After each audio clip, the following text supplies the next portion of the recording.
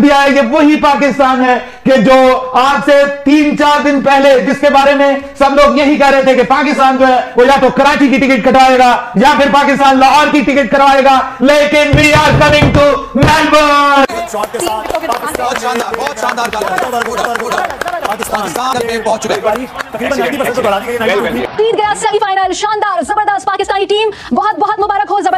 हो कारकर्दगी पर बाबर आज़म और रिजवान के सर आज का ये सेहरा जाता है पाकिस्तान की ज़बरदस्त जीत का और पाकिस्तान ने तीन विकेटों के नुकसान पर मुकर्रा ओवर तक पहुँचते पहुँचते यह हदफ हासिल कर लिया है और न्यूजीलैंड को शिकस्त का सामना करना पड़ा है। पाकिस्तान की शानदार कामयाबी और पाकिस्तान ने अपने रास्ते हमवार कर लिए हैं फाइनल के लिए। एक्चुअली नज़र यही आ रहा है। देखिए सबसे बड़ी पावर तो है बिल्कुल। ये सच बात सीम भाई ने सही कहा कि अल्लाह हमें यहाँ हम जितना आए हम से ये बात कर रहे। हैं दोनों टीमों पे प्रेशर है कि भाई नहीं मैं समझता हूँ कि कल भारत पे बहुत प्रेशर होगा। क्योंकि एक तो उनका ये प्रेशर होना है कि उन्होंने फाइनल में जाना है।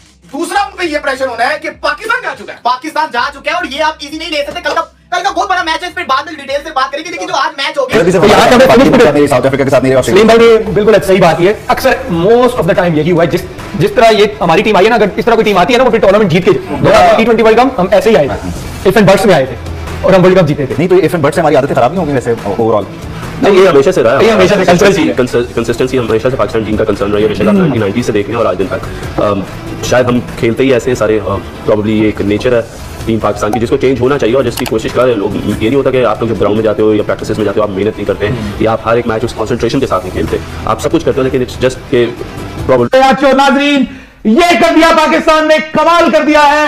पाकिस्तान फाइनल में पहुँच गया है। पाकिस्तान ने न्यूजीलैंड को सेमीफाइनल में बड़ी शिकस्त दी है और you Pakistan is in final ये चीज़ ज़बरदस्त। पाकिस्तान जिंदाबाद। Pakistan T twenty world cup 2022 के फाइनल में पहुँच गया है। माशाल्लाह। पाकिस्तान ने आज पाकिस्तान के करोड़ों क्रिकेट फैंस के चेहरों के ऊपर बड़ी मुस्कुराहटें फैला दी हैं और मैं कहता हूँ क्या कमाल की जीत आज पाकिस्तान को मिली है। पाकिस्तान को यह बहुत बड़ी जीत मिली है। पाकिस्तान ने आज दुनिया क्रिकेट को हैरान करके रख दिया है परेशान करके। इनहेरिटेंस है कि हम लोग खेलते ही है।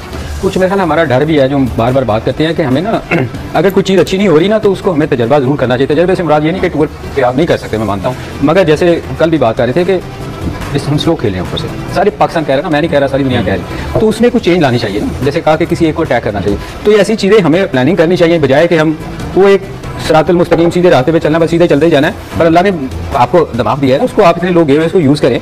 आप उसमें कुछ बेहतरी लाने की कोशिश करें ना बजाय कि एक चीज़ पे चलते जाए। रिजवान का हमारे है स्ट्राइक रेट 113 का और बाबर का है 105 जबकि न्यूजीलैंड का वर्ल्ड कप है ना। बीआई ये वही पाकिस्तान है कि जो आज से तीन चार दिन पहले जिसके बारे में सब लोग यही कह रहे थे कि पाकिस्तान जो है वो या तो कराची की टिकट कटवाएगा या फिर पाकिस्तान लाहौर की टिकट करवाएगा